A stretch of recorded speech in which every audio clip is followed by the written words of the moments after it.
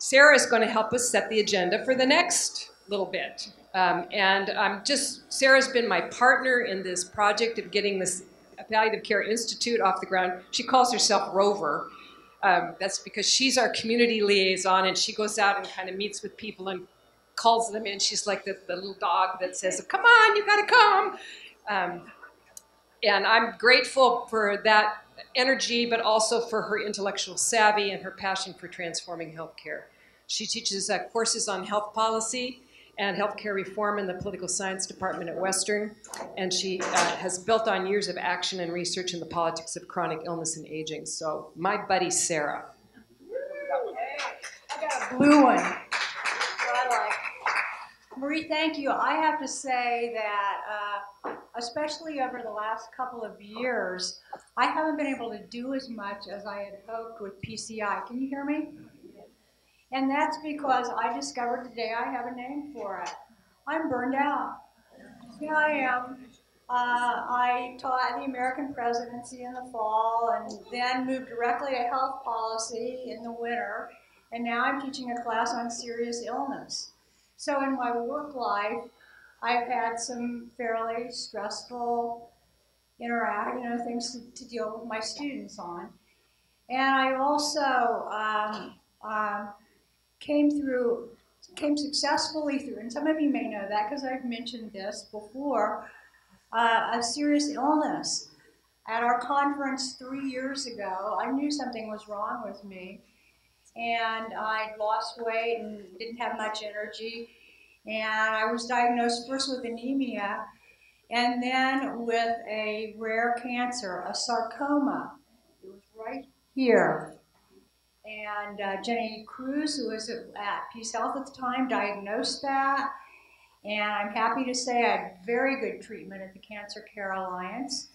I took an oral drug, Gleevec, which is a wonderful drug if you can take it, if it works.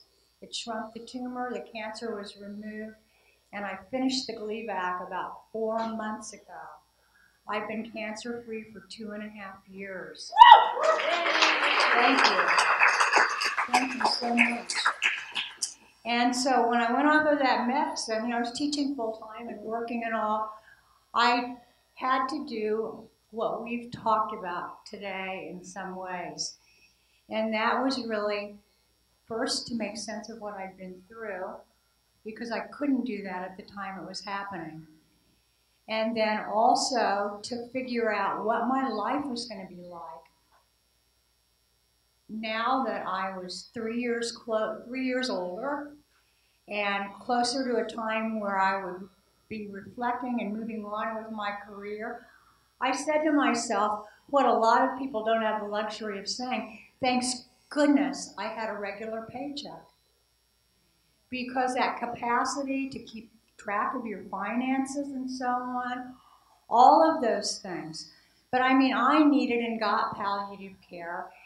And I also have to say that it gave me, even though I have a lot on my plate right now, an incredible urgency about the importance of the work we have and the work we do.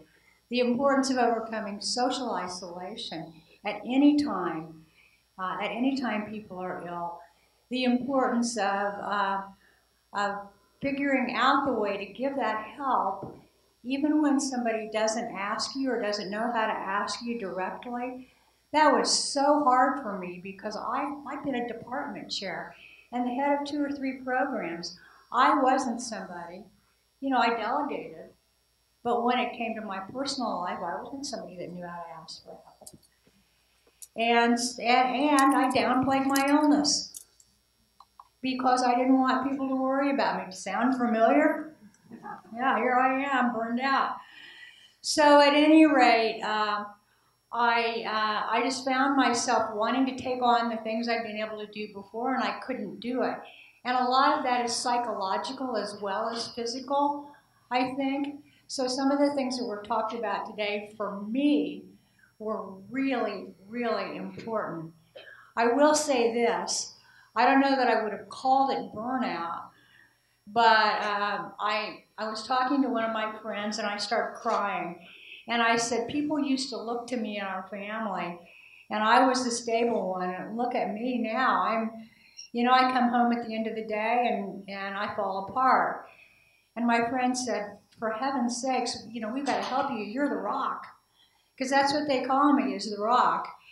And I, uh, I thought about that, and even though I didn't really feel like doing it, I went to my collection of rocks because I do love rocks as well.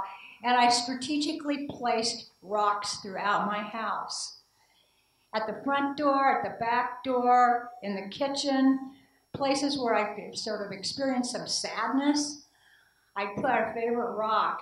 And so now when I start to feel a little of that, I go over and touch that rock and say, I may not be, nobody ever will be just like they were in the past, but I still have that capacity to be strong for people and help people. But first, I have to get well. First, I have to heal and give myself a chance to do that. So it really means a lot to me to be here with you because, as Marie can tell you, because really I think Marie and Casey and and, and Carol and a few people have known that I was at least close to burned out, but they figured they'd help me a little bit and that, that if I really started to go over the full burn to full burn, they'd pull me back. Am I right? Yeah, I know. I know that now, which is a good sign, I think. But at any rate, uh, uh, this has been a wonderful conference for me. And one of the things that I sort of lost, I, I've always had the capacity to tell funny stories about death and things. And I don't mean that in a mean way, but we've always used humor in our family related to death.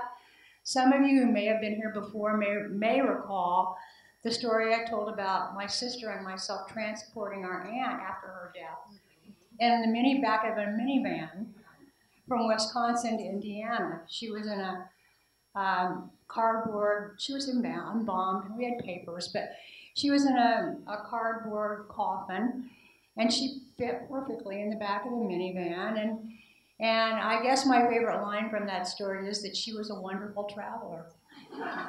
um, she had not been, she'd been gotten so, like many people, she was a horrible backseat driver.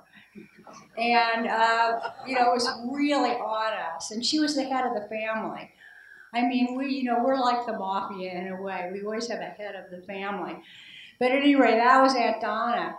And so, uh, even though she had dementia, if you mentioned money, for example, she'd say, No, no, no, come over here. We have to talk about that privately. A little like the Godfather. But, uh, but, uh, but not with the draconian means, I might add. But at any rate, um, so before, before we recap today, I'll tell you that uh, a story about my mother's death. My mother was a wonderful golfer. At 75, she hit a hole in one. Yes, and she was so sure that no one would believe her because of her age that she had other people come over and, and witness it. On the golf course, shortly after that, she started getting memory loss. Not awful, really, but she couldn't live on her own. And um, subsequently, she lived in a, she lived in a life care community until the last two months of her life, and then she had a hard couple months, but really was not, it was much harder on us than it was on her, I would say. And um, so when she died, um, we, we, we, she was cremated, and, and uh, my sister, first of all, suggested that I said, you know, we're going to have them open the grave next to Daddy tomorrow after the service. And she said, Can't we just go out there at night and dig a little hole and empty those ashes in? And, and you know, we can you give that money to some good cause. And then I had a dream. We've heard about dreaming today, right? In the dream, Mother came to me and she said, I want to be treated like your father. And I said to my sister, I've already called, I've already called, and the grave will be opened. And I said, I will never, you know, this was, this dream was not something I needed to write down. It was very clear. So uh, uh, at any rate, I just couldn't imagine. Well, I mean, we did drive my aunt, so in some ways I could imagine us doing that, but uh, we didn't do that. But when there were two parts of this, I'll tell you. We had a service, And um, uh, I knew, as did my sister, that my mother's cremated remains had not arrived as yet. So we had a little place for them. And people came up and said, Oh, I can feel her in there and things like that. And I felt really, you know, I just didn't want to retell the story every time because I knew in spirit she was there. But during the luncheon, after the minister had left, her cremated remains arrived. And so I got up and I announced to the group, Mother is here. and they were all like, huh? I mean, but you know, they were a little because they knew about Aunt Donna and her travels with us. So I uh, said to her, well, her cremated remains have just arrived. And I said, so let's all go out to the gravesite and bury her in the fashion she'd want to be buried. So we got one of those golf carts they drive around, and my friend drove it, and my sister and I got on the back with our mother's ashes. And so she was driven on the back of a golf cart out to the gravesite. And then we all gathered around, because I'm from Indiana, and we sang Back Home Again in Indiana. And one of the sweet parts of it was the person who had opened the grave was there, and uh, he uh, he was a person that had beautiful tattoos all over his body, and uh, he was kind of big, and and uh, I looked at him, and he, you know, I had handed him the box, and he handled it so gently, and he said, "I'm going to bend over now." and put your mother in next to your dad. And I always remember, always remember what I, uh, you know, I sort of learned from that experience of him looking like he was really big and strong and tough, and yet he was so fragile and kind with her. And when I think of her, when I think of her passing, I always think of him as part of that. But I, but I love I love that we could take her out on a golf cart. I know that's the way she'd want to go. So, anyway, that's my family story for today. And I will say that, again, that, that uh, Aunt Donna, I think it was the thing to do. I think the thing to do was to drive her home. And at first, I didn't want to do it. But then I realized that being close to her at the end was something that actually meant a lot to me. And with both of them, it was a way for us to have an ending that was joyful with them and that was like, like our lives had been with them. So anyway, that that's my story, and I, I feel a little less burned out now that I've told you that. I have to tell you that. So uh, what I really want from you, I've told you what I've taken away from this day, which are really important things, and I have some steps I'm going to take when I go home to do more self care and to. Uh, uh, I have a friend that's coming up this weekend. I went to graduate school with her. I haven't seen her in 15 years. There was part of me, because of the isolation that comes with the way I feel, that wanted to say no to her, but I didn't do it. And so, at any rate, uh, I'm hoping, I'm hoping that's a good sign.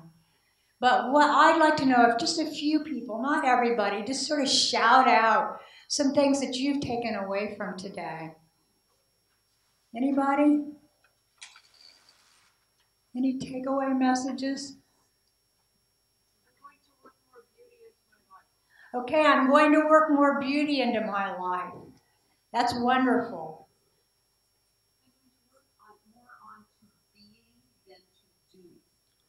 more on to being than to doing. I see both of these things as being really important, both in self care and in that capacity to give to others. One or two more. Wise compassion. Wise compassion. These are wonderful. Pursuit of wholeness. Pursuit of wholeness.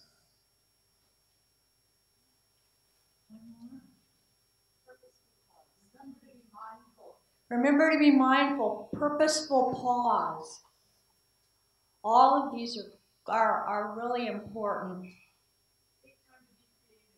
Take time to be, be creative. I actually brought one of the empathy cards back with me because I liked it so much. I was trying to figure out whether I could use the stamps to create a tattoo on my hand, but they don't work for that, I'll tell you. Uh, but uh, so I want to tell you some of the things that we have done, and when I say we, I mean usually, loosely. I mean Marie and the team under Marie's leadership have done this.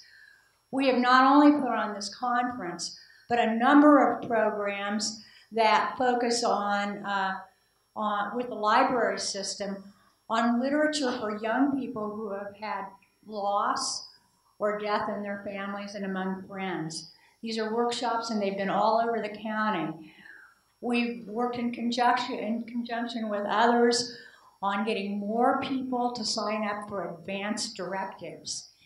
And we've supported uh, the programs that talk about what it's really like in the ICU and really place significance on having that advanced directive. Uh, the work of many, many people in this room. Uh, we have developed that website, which is a wonderful, wonderful resource for the community. Marie, name another thing. Legacy letters. Legacy letters, where people write what they would want you to know, what, what they would want others to know about them when, they, when they've died, what their legacy would be. The back of the bus campaign. Uh, I have to say that I think you have a picture of the back of the bus, and I have to take credit for that because that's my photo.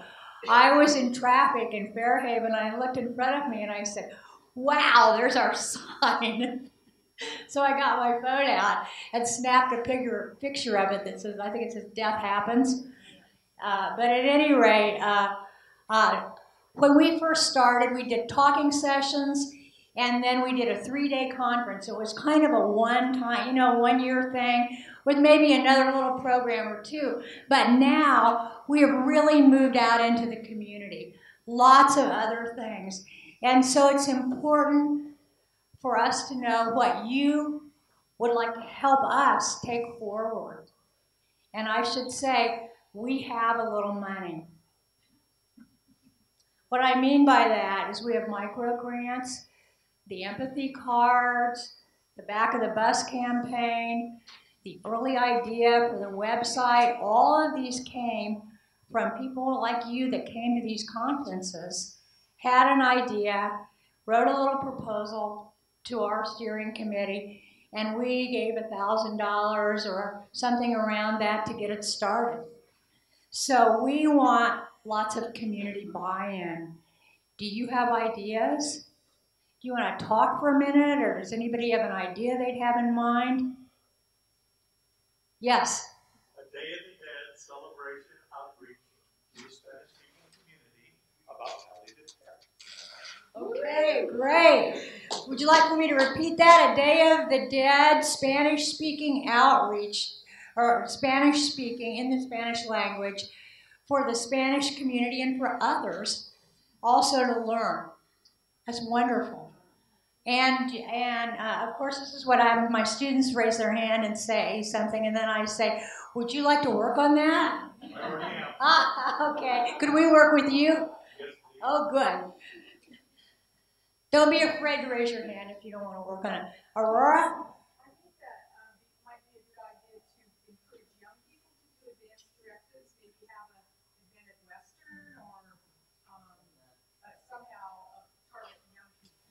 Mm-hmm. So the just in case program really be more proactive about that. Yeah, yeah, because I have 35 year old some daughters, you know, and talking to them about it and trying to get them to do it, it's like pulling teeth. And yet, you know, any, anybody can have an accident and end up, you know, where they're going to need an advanced directive. Mm-hmm or or also be in a position where they, they can't imagine it, but that they have to make life decisions for a parent or friend at a young age. I think a lot of us had to do that without much direction. These are great ideas. Other ideas? Yes. Yes. Look. there's a program called Hand in Hand Parenting out of Palo Alto, California, that sets up, facilitates creation of listening pairs for parents, where they'll they'll help two people find each other and set up a relationship to trade time listening to one another. They train people in how to do it, and they do guidelines, and they do assistance for that. And I don't see why there could not be such a program set up for caregivers. So I know some of you in the past have raised what I think is, you know, is, is something very reasonable, and that is that uh, Bellingham is not all of Whatcom County. And so I'm wondering, I'm wondering whether uh, there are ideas about things we might do in the county that would really broaden our focus beyond the. We do some some programming in the county, but but things we could do in the county that would really broaden the focus of our program. Ideas? Casey?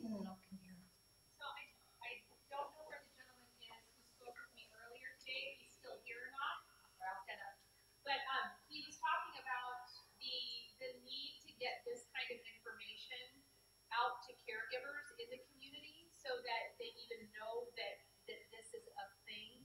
As in Kendall here, we were talking about just, you know, recognizing that at the time of diagnosis, when we're looking at the patient and helping the patient understand what palliative care is, we don't really have a, a system of helping the caregivers understand what this means for them. And he had suggested doing something, um, maybe in partnership with the faith community nurses, where we're doing, we could do workshops in faith organizations and getting information out to the people in ch- via churches. So I just, I've, I've heard s- enough people today talk about wanting to get to caregivers this information about compassion fatigue and, and burnout and how to take care of yourself as a caregiver. I just, I think that might be an idea for, for consideration. Great. I saw another idea. Here.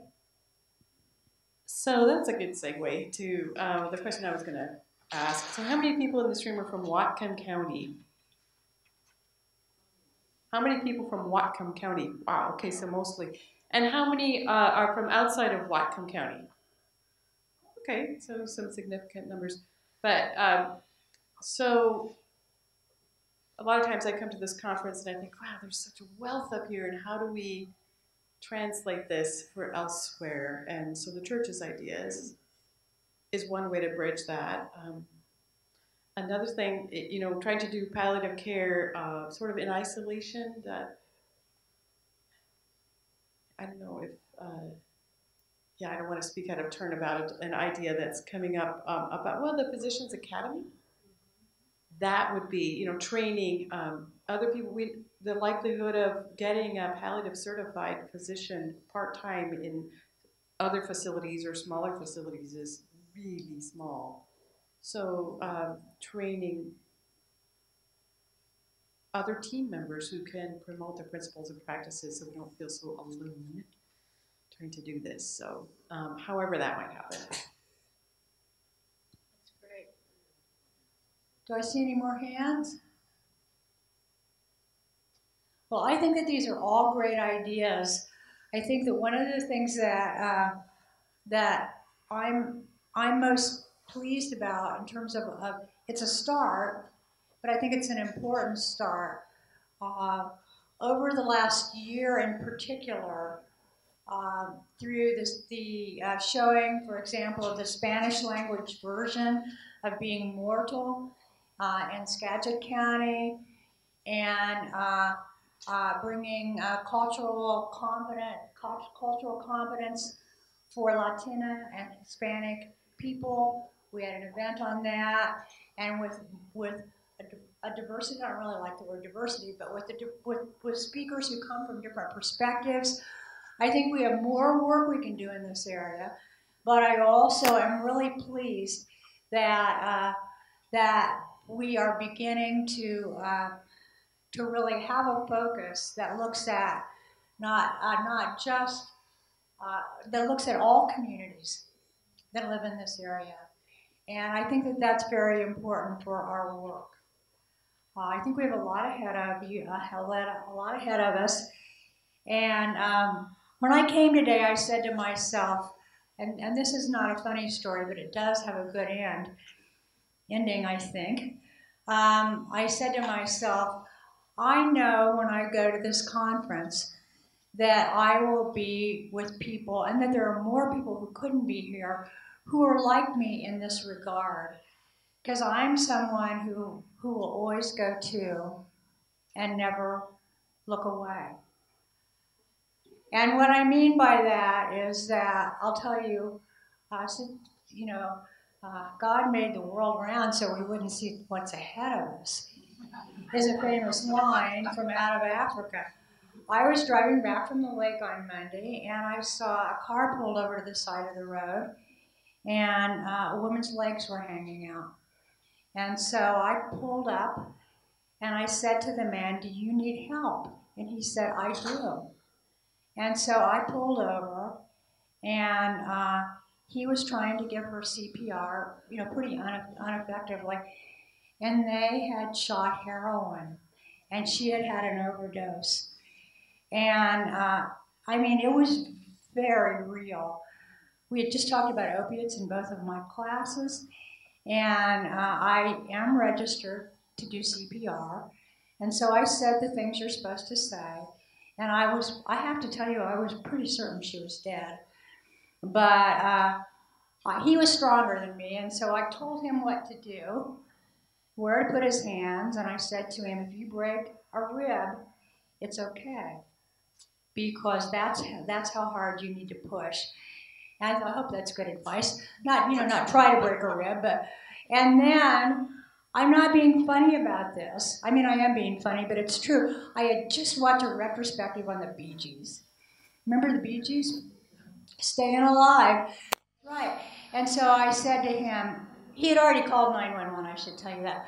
I said to him, I'm going to count, and you follow my beat. And so I just heard, uh, uh, uh, uh, staying alive. I didn't sing that, but I sung it to myself, and I clapped the beat. And then he said, I'm getting tired. And that was when I realized that he was high as well. I was getting the picture, I kind of was getting the picture. And, uh, and I have to say, I mean, this is an awful thing, but it's increasingly ordinary as well. And so I took over briefly, and then the EMTs came and the firefighters. They were wonderful. These are people that, if they wanted it, palliative, anything we could do with regard to palliative care, I would say we should do it with them. But they pulled her out, they laid her in the street, they gave her the antidote, and by golly, she came around. I could not believe it. They saved her life. Now, I don't have any idea what kind of a life she will have ahead of her because I don't know how long she's been down. But I know that it can be pretty rare for that to work. It doesn't always work. And so I just hope that that you will join me. Well, first of all, I we we that the, one of the EMTs said to me, why did you stop? And I said to him, Who wouldn't? And he said, A lot of people. And I said, That would never be me. And, and that is the thing about palliative care and caregivers.